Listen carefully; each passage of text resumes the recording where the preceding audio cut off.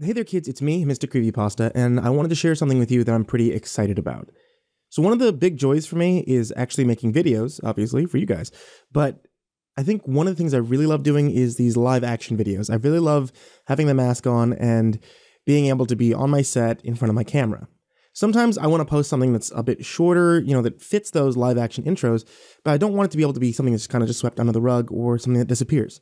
So, I was pretty excited when I found out about Amino's new story feature and the fact that the stories don't just disappear like in other places. You guys have probably seen stories on other apps, however, they're always gone in a couple of hours, 24 hours, however many times they're around there. But on this one, you can actually have a wall of stories and they don't just disappear. They're ones that can actually be around for a long time. Amino reached out to me and I kind of decided to join in the fun. I'm going to be posting a couple of different convention updates uh, and a few different live action things. You guys should be able to see a couple of those from me in the next coming days. If you click the link in the description or the pinned YouTube comment that should be at the top here, or of course you get to search for Amino Apps and download Amino. My first story can be found by searching Mr. Creepypasta, so I'll show you how to do right here. And make sure to follow and click the bell to know when I'm posting a new video, just like YouTube. And every time you watch my videos, you'll be supporting me. So if you like my videos, this is kind of a no-brainer. this is a free way of keeping up uh, with me and to keep me creating. All right, guys. On to tonight's story. My name is Lily Madwhip, and I have no idea where I am. This is the teacher's lounge, Lily. That's Nurse Whitmore. At least I think it is. Sounds like her. She's been the school nurse for two years. Before her, we had Nurse Faye, who never believed anyone was sick. She'd just take our temperature and then tell us we were fine and send us back to class. One girl, Janie, went to see her because she felt nauseated. Nurse Faye sent her to class, and she ended up turning into a human fountain in the middle of social studies. It was gross. I sit up and look around. I've never been in the teacher's lounge before. Students aren't usually allowed in here. I heard that if a student goes into the teacher's lounge, they come back missing a finger. I've never known anyone who did it. Obviously, everybody I know has all their fingers. There's a big coffee pot with cups over by a sink and a bunch of tables with chairs. Nobody else is in the room with me and Mrs. Whitmore. What happened? I ask. Nurse Whitmore smiles at me in that way that says, I feel bad for you, but I'm happy thinking about it. You fainted in the middle of the school assembly, dear. That's right. The lady in black was apparently our guest speaker. And then the black fog was all over my feet, and somebody started coughing. Oh no, the angel of death was the guest speaker? I feel like I can still see all the smoke surrounding her, leaking into the floor from the other side of the door out into the hallway. How, how many are dead? I dread the answer, but I need to know. Nurse Whitmore seems taken aback by the question. I beg your pardon? she asks. How many are dead? Nobody's dead, Lily. You just had a fainting spell. It can happen. There wasn't a gas leak or anything. But I heard coughing. I remember just before everything seemed to go black, like the smoke was covering my eyes completely, and, and there was someone coughing in the crowd. Nurse Whitmore touches her cheek kind of in the same way my mom touches her chin, like they're pressing enter on some search engine in their brains. Coughing. That was probably Drew Sanders. He's got asthma, sweetie, that's all. He's in my office right now. That's why we had to bring you to the teacher's lounge. I don't know Drew Sanders. I, I hope he doesn't die because of all this. Is he going to be okay? Oh, he'll be fine. He just needed his nebulizer. It sounded like a space age technology. What happened to the lady in black? Nurse Whitmore looked puzzled. Who? The police lady who was at the assembly. Oh, you mean Officer Flores. I'm afraid I don't know. She probably left after the assembly. Police are busy people, after all. Nurse Whitmore stands up and brushes off her clothes. I guess adults get dusty a lot because they always seem to brush themselves off when they stand up. I wonder what the assembly was about anyway. Having fainted, I missed out on what Officer Flowers actually came to say. I bet it was about the dangers of people with angels of death hanging around pet stores. Or maybe it was to tell us that smoking is bad for your health. Can I go back to my class? She shakes her head. Your father is on his way. I don't need my dad right now. I need Pasher, and he's outside in my backpack. At least, I I hope he still is. I left him in the pack by the swings before Meredith set Lisa Welch's stupid red backpack on fire, and I didn't get a chance to bring them inside with me. What time is it anyway? Almost 11? In a half hour, it's going to be lunch, and then after that, recess. I really just need to get my backpack and Pasher back. I need to go get my backpack. I left it outside by the swings. I guess being honest is the best policy. Nurse Whitmore accepts this explanation. Okay, but come right back with it. Sorry, Nurse Whitmore, but I can't. I've got to get Pasher and then find Meredith and tell her about Felix. I gave her a warning earlier about weasels, but I really don't think she's going to understand what I meant at all. I walk down the hall to the front, going past Mr. Longbow's office with all his eagle paintings. He's sitting at his desk talking to someone else and doesn't even notice me. I'm glad because I'm sure he'd probably come out and stop me if he did. Outside, my backpack is still sitting by the swings. Thank goodness. This is my favorite backpack. Really, it's my only backpack, but of all the backpacks I've had over the years, this one is my favorite. It's been knocked over. Probably by Jamal or Greg as they left for their own school. But Pasher's still inside and he tells me that he's glad I'm okay. You shouldn't leave me behind, Pasher says, now more than ever. I know, I'm sorry. I know he forgives me because he's an angel and they're all about forgiveness. Well, forgiveness and punishment, I guess. And secrets. And fires. Pasher, I need to know where Meredith lives. You mustn't go to Meredith's house, he tells me. That creepy man I met at the hospital is after her, I reminded him. We talked about all this just the other night. Pasher, you know she's in danger. If you go to Meredith's house, things will be much worse. Will. will I die? I can't answer that. What? What do you mean you can't answer that? You know everything, and you can see the future even better than I can. You know what the plan is, Pasher. Why can't you tell me if I die? There are too many outside elements at work here. The inclusion of Nathaniel and Duma and Raziel are setting things out of alignment. I'm getting frustrated. Not because I think Pasher's keeping secrets from me, but because I, I have no idea what he's saying.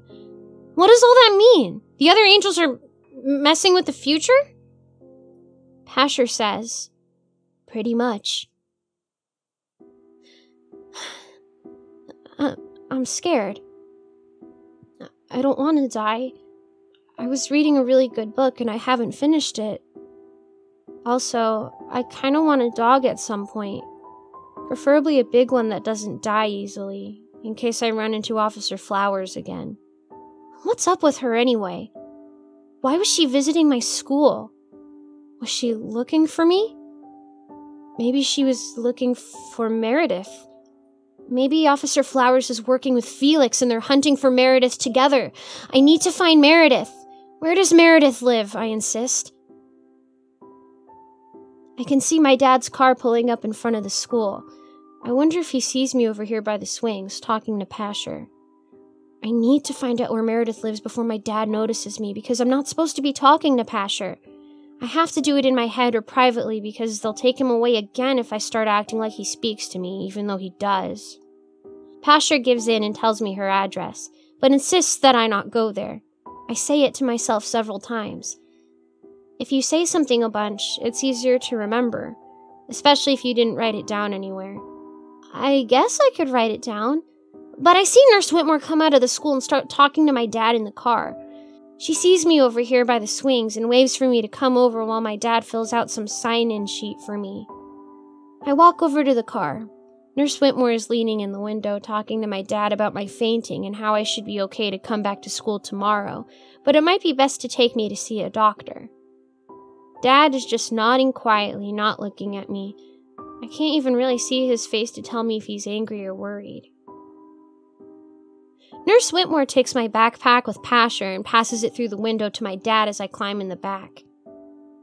Lily, wait, Pasher says. I'm not listening though, because I'm trying to buckle up, but my vision is beginning to act wonky. I think I'm starting to see something before it happens again. I try to focus so I can tell what it is. It's. It's looking through the front windshield of the car as we drive down a road I'm not familiar with. Well, that's useful. All right, Lily, says Nurse Whitmore. You be well. We'll see you bright and early tomorrow. Thank you, I hear my dad say. He he sounds weird, like he's come down with a head cold. In my vision, we pull up alongside a small green house. I'm looking at the mailbox, and it has the number 86 on it. It's the same number as Meredith's address. We must be going to her house. That must mean I convinced my dad to go there so I can warn Meredith. Oh, good. I know Pasher doesn't want me to go, but maybe my dad can help. We pull out of the school parking lot, and something. something smells funny. The car the car smells unfamiliar. Like like when you take it to get cleaned and get it back and it smells like someone else. Dad? I start to say, but it's not my dad's eyes looking back at me in the rearview mirror. They're too small, too beady, like a, a weasel's eyes. I'm afraid I'm not, Lily, says Felix. I get goosebumps all over my arms and legs. Why is Felix weasel face in my dad's car? Where's my dad? I yell. I unbuckle myself, but Felix shakes the steering wheel and the whole car weaves back and forth. It's real dangerous to be unbuckled when someone's driving reckless like that, so I buckle back in.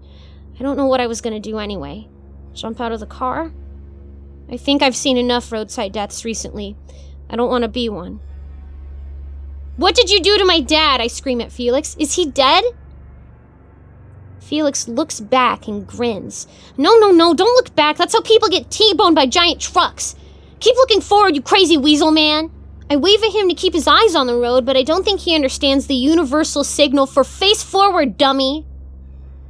Your father's fine for now. You know, I thought about just coming for Meredith at school, but you're a smart girl, aren't you? Somewhat, I think. I know enough to stay buckled in and to look where I'm going, and that if Felix finds Meredith, he's going to kill her because he's angry about what happened to his son, Joey. I'm not top of my class smart, but I'm one of those kids who knows you spell it ketchup or catsup and it's the same word. I figured the best bet was to wait for you to get home and just have you take me to her. After all, I knew where you lived, but not her and I knew you didn't know where she lived at first, but given time, you'd find out. I think Felix likes to listen to himself speak. It's all part of knowing people, Lily. I know how to learn the things I need to know and how to use people to get the things I want. Like your dad. Thanks to what I gleaned from you at the hospital, I was able to talk my way into your house easily. Where's my dad? I say as calmly as I can. Felix's lips curl up in his creepy weasel grin again. I'll tell you when this is all over. It really depends on if you give me any trouble or not. Pasher's gone quiet in the front seat. I think I know why. I think it's the same reason Raziel, the angel in Felix's locket, won't speak. Anything they tell me, Felix will know. Just like how he must already know Meredith's address thanks to Pasher telling it to me. They will not speak to me with Felix near, because I'm like like a radio antenna that Felix can pick up their signals from. A, a really fleshy antenna, with hair and a face that's really pissed off and glare staring at him from the back seat. Mr. Felix, Meredith didn't kill Joey. Felix's mouth twitches and he looks back at me with a bit of anger in the rearview mirror.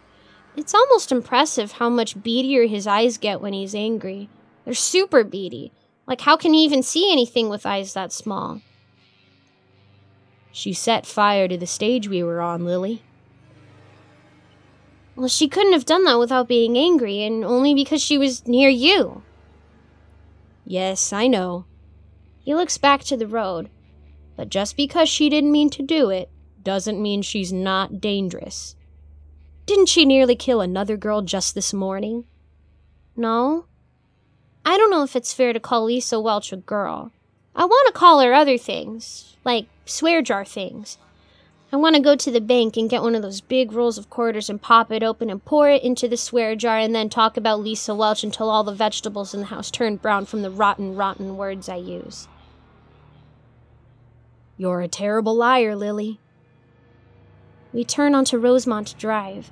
That's the street Pasher told me is where Meredith lives. We're going to be there in a matter of minutes.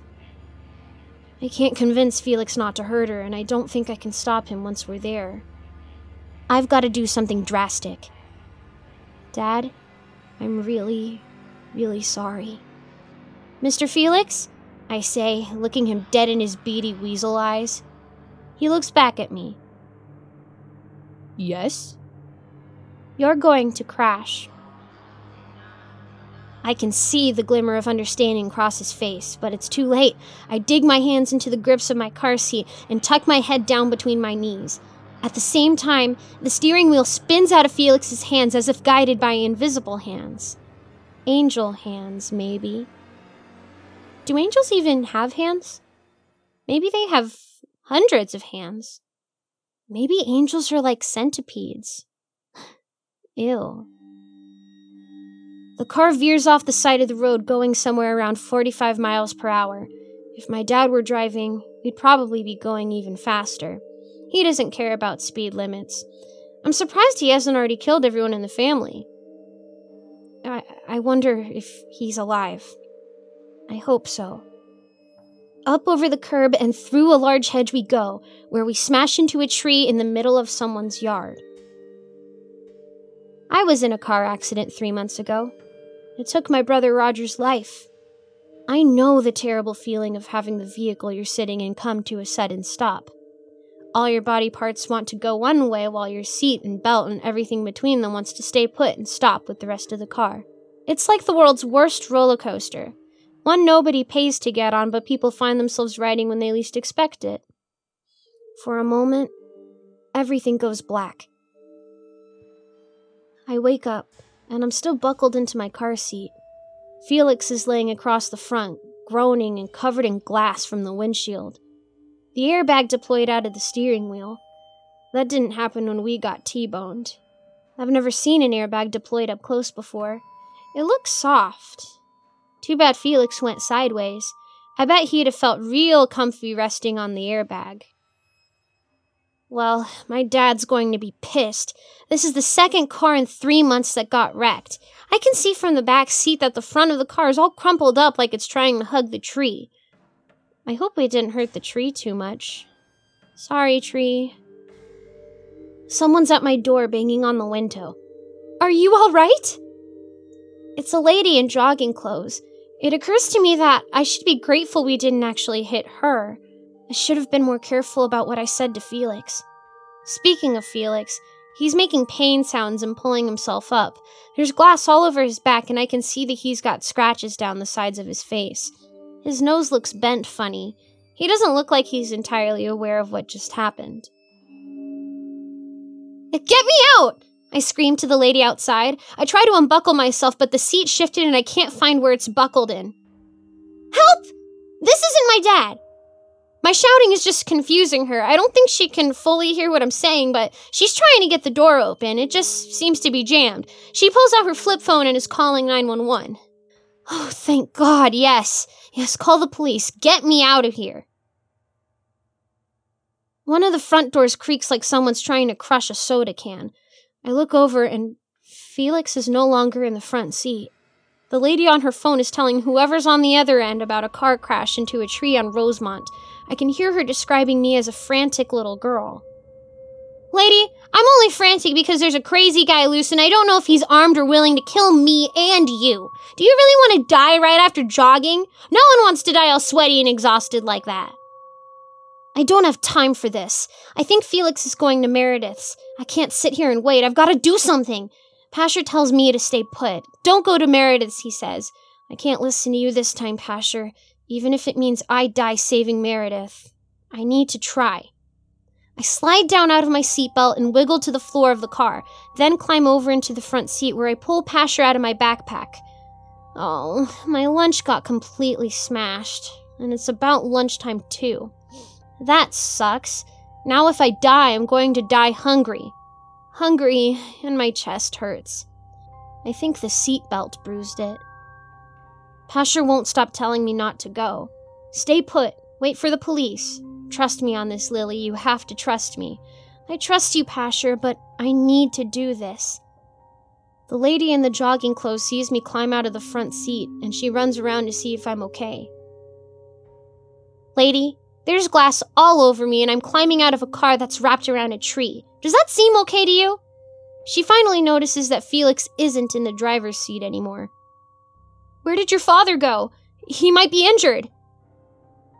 That wasn't my dad, I tell her. I'm okay, please. Just tell the police to head to 86 Rosemont. The bad man who kidnapped me is going there. You should sit down. She puts her hands on me and tries to guide me away from the car instead of doing what I told her to. I shrug her off and run through the giant hole we made in someone's hedge. Other people are coming out of homes or pulling over in their cars to see what happened. My dad's poor car is hissing. It sounds like a big metal snake. Maybe uh, one of the tires is losing air. I can't tell what exactly the noise is. I don't even really care. I'm trying to drown out the sound of Pasher in my head and pay attention to the numbers of the houses. I can hear the lady in the jogging clothes behind me yelling for me to come back. Over it all, I hear sirens. I hope they get here in time.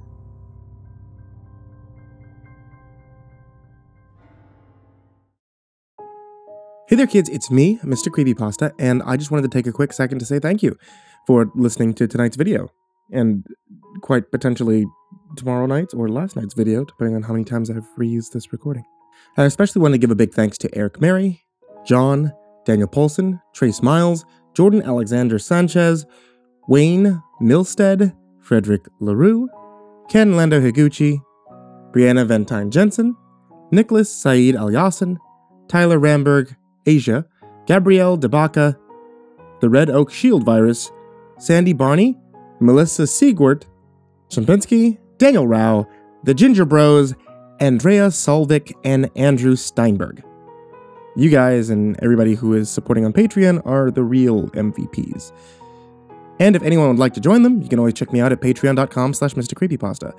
Or if you'd just like to support the show without, you know, uh, Patreon, then honestly, every view or minute or however you watch or listen to this creepypasta story time on the YouTube live stream or here on YouTube, the podcast on Amazon, Google Play, and on Spotify. And if you'd like to support my wife, then there's nothing better than listening to scary stories with some Dungeons and Dragons themed herbal teas. Etsy.com slash Ivory Monocle Tea. All right, kids. Thanks so much for listening, and sweet dreams.